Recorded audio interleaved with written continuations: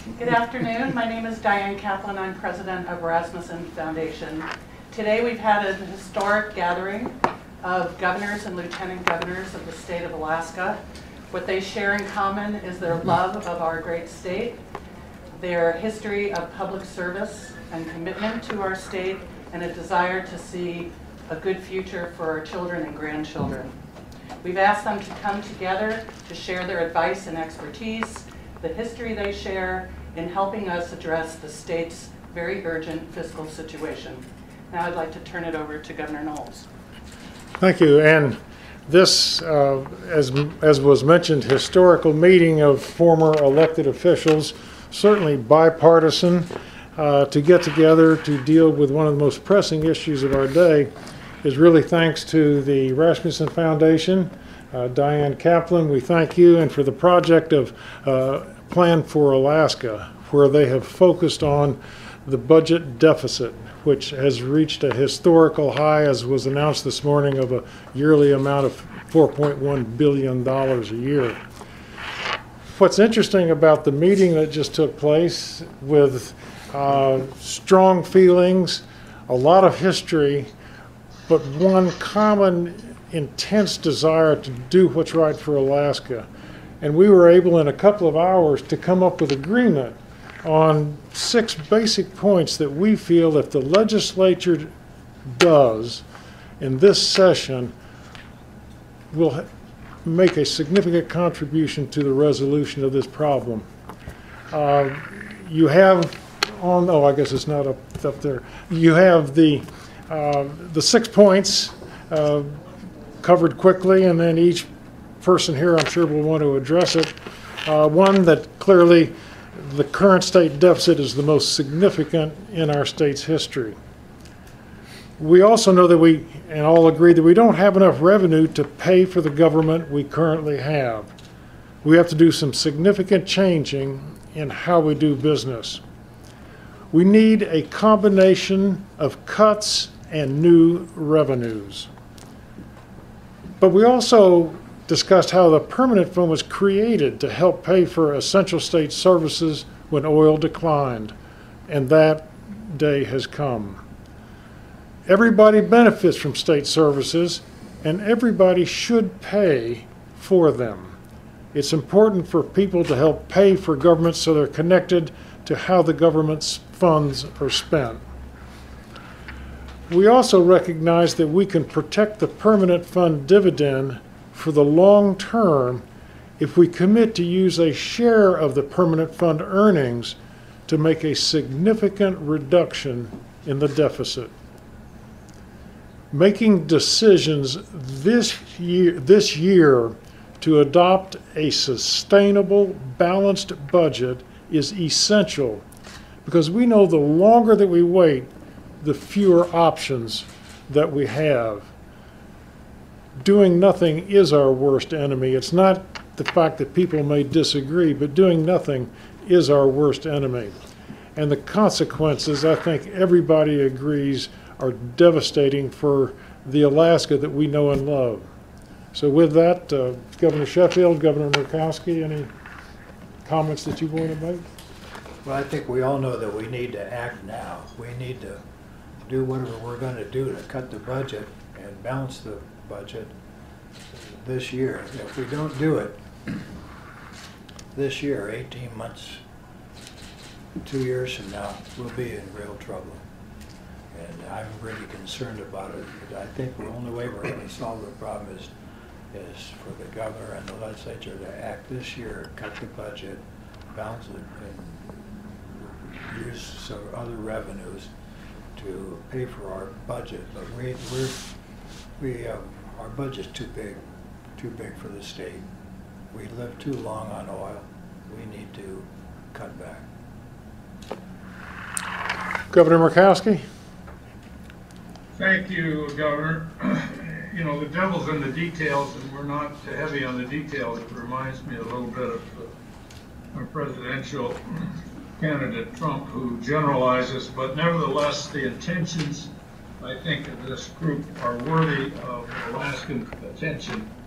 You know, my feeling is government's too big, and we can't afford it. Uh, But the uh, that have been elaborated here, uh, such as, you know, this is a rainy day fund that was created by the wisdom Alaskans and the legislature, and as has been pointed out, that time is here, and it's important that we use it for the purpose it was designed for. And uh, uh, prompt decisions uh, are appropriate and paramount because the longer you wait, the more you still have the decision to make. But I suggest that we evaluate very carefully these decisions first, first, particularly in the area of revenue increases, because as you increase revenue, that revenue has to come from somebody or something, and that could be detrimental to uh, their continued reinvestment in Alaska. So we have to balance that because we have to have incentives to continue our funding from our resources, oil, gas, timber, fish, minerals, and tourism. That's the future of Alaska.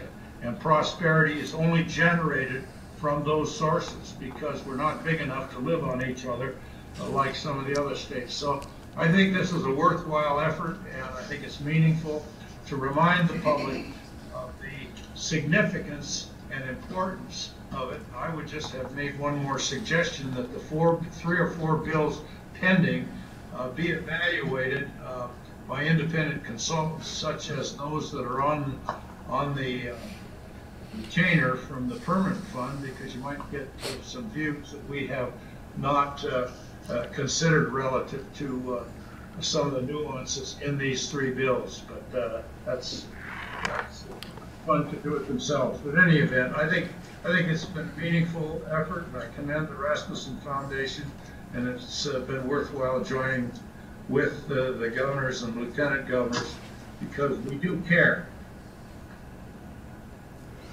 I'll just jump in and say that I think what we all share is a sense of urgency, that there is still time in this legislative session to make some of the hard decisions that are absolutely essential if the state of Alaska's future is going to be as bright as its past. The size of the budget deficit is simply too big to get there alone with budget cuts. $4 billion. You could get rid of all of our state agencies and only pay for education, and you still wouldn't have enough to fill the gap. So that is why we are all talking about the importance of using permanent fund earnings to fill the gap, not just this year, but for the long term, as part of a strategy to make sure that our fiscal picture is healthy. That's important for our private sector. That's important for the bond market. That's important for everybody who wants to call Alaska home long into the future. We also believe that that's the only way that you can actually save the permanent fund dividend. Because if you just do kind of a stopgap measure right now, you end up burning through your reserves in just a few years, and then there won't be a permanent fund dividend. So, for those of us who were part of the process for many years of making sure that the permanent fund was adopted in 1976 and the dividend was adopted in 1981. If you're thinking long term, we encourage the legislature this year to put in place a fiscal regime that has sustainability. We're all counting on you and, and supporting you, and we hope that the people of the state will give support to our legislators who are willing to make tough decisions that will really benefit us all for the long term. Uh, I think if we, we look back uh, from the time of the creation of the permanent fund, it was a rainy day fund. The dividend was actually an afterthought. Uh, the permanent fund was created with the understanding that oil is a finite resource, that it's going to run out someday, uh, and that order, in order to meet the needs of Alaskans, we were going to have to rely on that fund.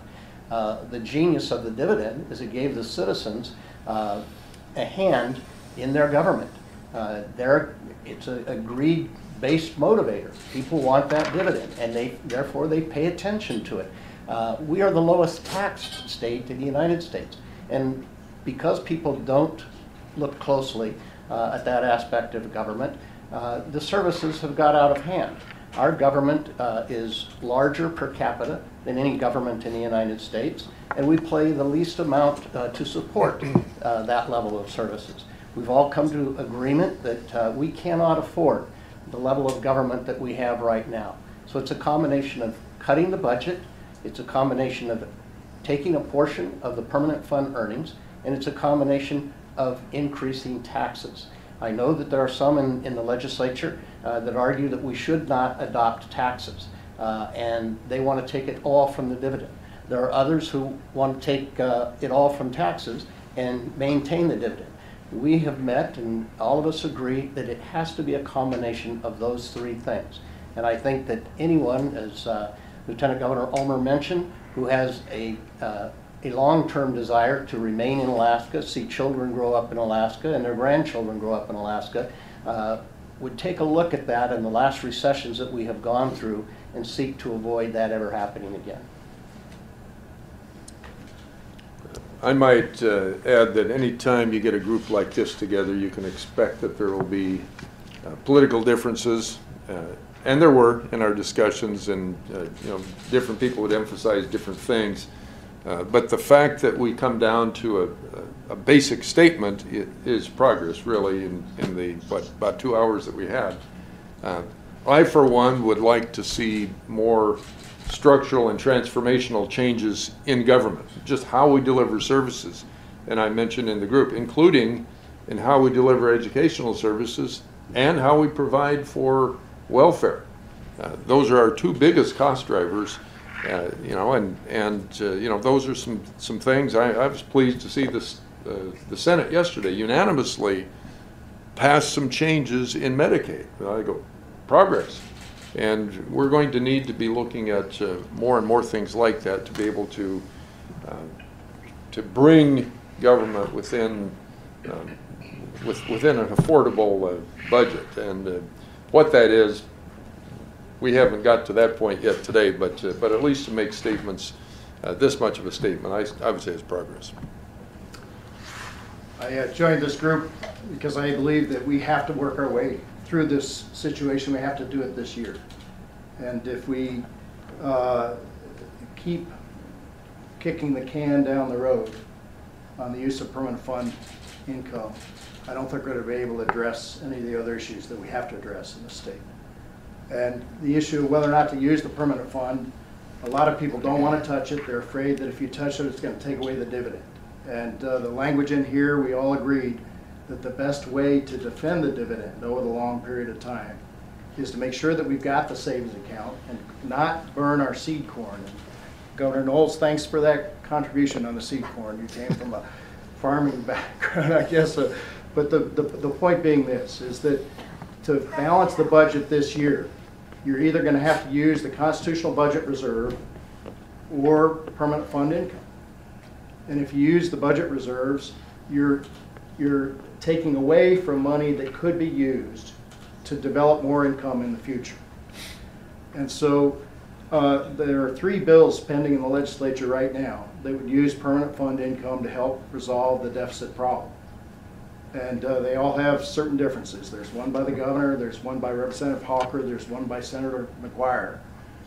And uh, we hope the legislature doesn't leave Juneau until they've come up with one of them that works.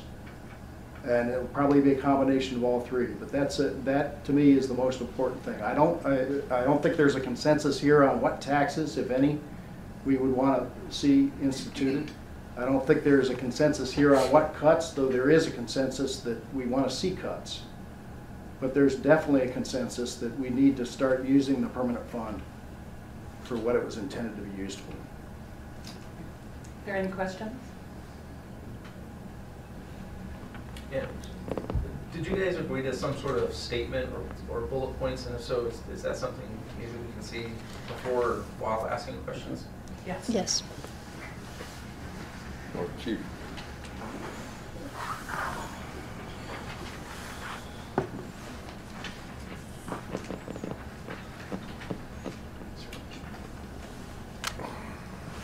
Any questions at all? Yes, sir. John Alaska, Reynolds Alaska Commons. I was wondering, uh, there's been a lot of talk in the legislature about obviously additional cuts, um, but there also is a lot of uh, sentiment expressed that we haven't really felt as a state the cuts that were put in place last year. Uh, would you think that's fair to say? How do you feel about when we're going into recommending additional cuts? uh, we're taking into account, we haven't yet felt the full brunt of the cuts that were already place last year. I'll just offer two comments on that. I used to spend time at the University of Alaska Anchorage. I was the chancellor. And I was in Fairbanks last week for a big Arctic science meeting. And I was talking with people at UAF about how many people they're going to have to lay off because of budget cuts. So I can assure you that the people who are being laid off in the university know that there are cuts. And similarly, as you go through different agencies, depending upon exactly who you talk to, you'll get a very different feel about how up close and personal those budget reductions are already being felt. If you talk to the private sector, you will hear as well in the private sector people being laid off, people not being hired that they hoped they would get a job because of anticipated reductions in the capital budget. As you know, the capital budget last year was pretty small. There's still money left over from previous capital budgets, which is still sort of flowing in the pipeline. So maybe the, the feeling of that is a little delayed, but that doesn't mean that it's not happening. And I might just note, you know, if you wait for the real pain to be felt, as Lieutenant Governor Mead Treadwell said, it will be too late because you will have burned up some of the very reserves that you need to help you get through a period of time that is this transition as we adjust to a different level of spending. Your question is well taken, however. Um, uh, Fran is absolutely right. The people who are directly affected by the cuts are obviously going to feel it. But uh, Diane, if you could refer, I don't know if you have it in front of you, to the polling that was done by the Rasmuson Foundation and uh, what the general public feeling is about whether uh, significant cuts have been made to the budget. Uh, We found in uh, polling Alaskans that uh, most Alaskans had very little understanding of what cuts were made in the 2015 session. In fact, they were about $500 million. They're starting to be felt different places, uh, but uh, we found that most Alaskans were not aware of them. I, I would just say to that, uh, I own cabin down in Girdwood, and we're very concerned about our troopers down there, and that's one of the cuts. Uh, I see it in our libraries, I see it in the uh, issue on the, on the uh, Anchorage ballot, on the Alaska, on the Anchorage ballot uh, coming up in April. And, uh, you know, the, the point is, these are good debates to have, and we've got to figure out other ways to pay for what we need. But uh, the fact is, is that I would not give up working on cuts. There's still efficiencies to be gained in government. And there is a connection between people and their permanent fund dividend and the size of government, and people don't want to see the dividend go down. And most of those bills, the three bills that I talked about, try to have some sort of connection between the size of dividend and the size of government. That's, that's actually taking care of that Alaska disconnect that we've talked about for so many years. But the fact is, is we can't kick the can and not look at using permanent fund uh, revenues if we want to keep the dividend. I, uh, I'll respond to that uh, question. I work in the engineering profession, and so the, I have interaction with the construction industry and, and engineering, and that's largely driven by a capital budget, and the industries are seeing uh, impact. There's delays in projects, just reductions, um, attrition, and so in that, in that part of our economy, of course, it's not just state government that's driving it. The- it's the industry itself, uh, shrinkage with the price of oil being down, then, you know, that's delaying projects uh, also. But uh, there is an impact, uh, you know, when the capital budget shrinks, uh, you know, that's going to be felt in, throughout the economy. There's, there's a lot of discussion today about the difficulties we have, the problems with the deficit, the economic consequences of not addressing it, people getting laid off, and what can we do to possibly get it going on the right track. But this is not what we decided upon today, a defensive posture at all. Because if we're able to transform a budget that for years have su- has suffered the vagaries of a commodity, non-renewable commodity price, that be oil, going up and down, with the recession of '86, the recession of '98, and now the recession, and then uh, potential recession now. what we're going to do is because of our savings, the wisdom of having the permanent fund, as was mentioned, the permanent fund principal, the permanent fund earnings reserve, which is also around $7 billion, and then the constitutional budget reserve of almost $10 billion, we have the savings, the earnings of which can be the cornerstone of a future sustained balanced budget. No state in America is in that situation. Nobody has that kind of stability and opportunity for essential services being delivered without having to depend on uh, fluctuating oil prices and increasingly higher taxes and other issues. So, what we're but we emphasize, and I, I just totally agree with it, that if we don't do it now, it's going to slip through our fingers. Because for every year that we wait, we are eating the seed corn because those are the earnings that are going to pay for a long-term sustainable budget. Other questions? Yeah, This is Frank Murkowski. I, I just like to comment on what I believe is a reality, and, and we've discussed the re, the conditions associated with our economy and uh, why it happened. It happened because of the price of oil, but we are not producing as much oil as we used to. So uh, we can't expect relief that way. So we're going to have a recession. We're in a recession. Jobs are disappearing in the industry, the oil industry. Uh, jobs are, are going to decline in the private sector as well. But the idea that the, we can, through the legislative process, make the landing a little softer by using the permanent fund uh, and uh, the intelligent use of selecting just how much revenue to try and increase, uh, how much of the government are we going to have to reduce is a, is a, obviously a responsibility of the legislature and hopefully our input of supporting an orderly process so that we can come out of this. Now, what we're not doing here, and it's important and should be a second step, is how we can grow the economy how we can take our basic resources and enhance the growth through investment and through competition uh, because it's a world market that Alaska serves. And you're not going to get out of it unless you develop these alternative resources. And the sooner the better, and we still got to maintain enough uh, incentive so that Alaska can be competitive in oil, gas, minerals, what have you. So it's a balancing act, and the permanent fund plays a paramount role in it because it's all we can look towards in this void that we've got. But make no mistake about it, I was in the banking industry during the time that the pipeline terminated and the jobs went begging, and what happens? The people left the state, a lot of them did, because without a good job, you can't afford to live here. And as a consequence, we went through this process, but it hurt because mortgage rates, obviously, the mortgage market was tough, and uh, uh, we we were overbuilt, and uh, this we didn't have a permanent fund. This time, we have this safety net, so to speak, and the question is how to properly use it in the interest of all Alaskans. So I commend the group, and uh, we'll see how it goes from here.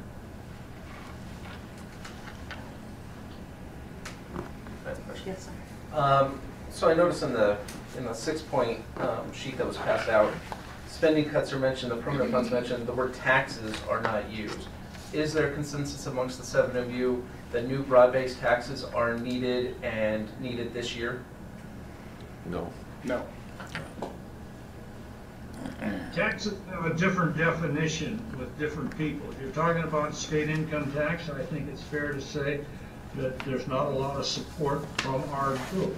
Uh, uh, You've got a situation on the North Slope uh, where you know, revenue streams uh, uh, and the tax incentives have reached a point where uh, you know, they're about a balance, and I think the legislature is probably going to cut some of those incentives as a consequence of necessity. But this is a, this is a, if you, if you set out a tax, across-the-board tax, what you're doing is making Alaska and Alaskans less competitive in the sense that we need to ensure that we have an investment climate that encourages capital to come in because they come in, as I've said, for the highest return and the least, least risk, and they can go anywhere in the world.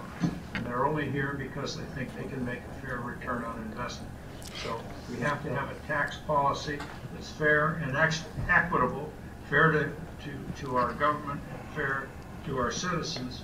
And, uh, we've got a tax program now that has been evaluated, uh, over a period of time, and I think, uh, uh, I think industry recognizes that it's on the high end, but they're willing to pay it. But right now, industry is willing, not making a return on its investment simply because the price is so low. So there's no magic answer to it. To clarify the answer to your question, there wasn't consensus on whether or not taxes should be adopted this year. It's not the case that there was consensus that they not be adopted this year. So that's a, there was no consensus on the question of whether or not other taxes should be adopted this year. Some of us felt there should be, some of us felt not yet. So that was addressed in item four Right. which is basically we see value in a broad based taxation system that connects people to the government that they get. Because as you know, since we did away with our personal income tax in 1980, there has been no general state tax, no income tax, no sales tax. And I would argue, and I won't speak on behalf of the group at this moment, that when people think that government services are free, there's almost no end to the desire for more of them.